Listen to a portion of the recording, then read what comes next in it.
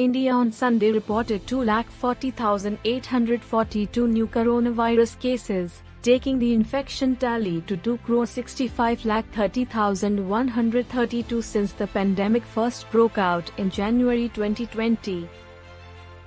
The toll climbed by 3,741 to 2,99,266.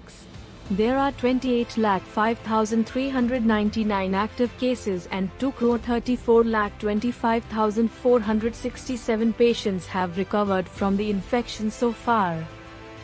New Delhi, Maharashtra, Karnataka and Tamil Nadu are among the 10 states in the country that account for 73.88% of the new COVID deaths. Maharashtra saw the maximum casualties, 682, followed by Karnataka, 451, Tamil Nadu, 448, Uttar Pradesh, 218, Punjab, 201, Delhi, 182, Kerala, 176, West Bengal, 154, Uttarakhand, 134, and Andhra Pradesh, 118.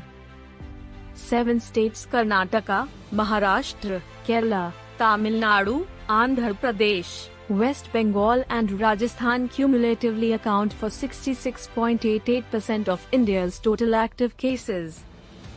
Maximum of the 4,83,225 active cases have been reported from Karnataka followed by Maharashtra, 3,54,830, Kerala, 2,89,657, Tamil Nadu, 2,84,278, Andhra Pradesh, 2,10,683, West Bengal, 1,31,688 and Rajasthan, 1,22,330.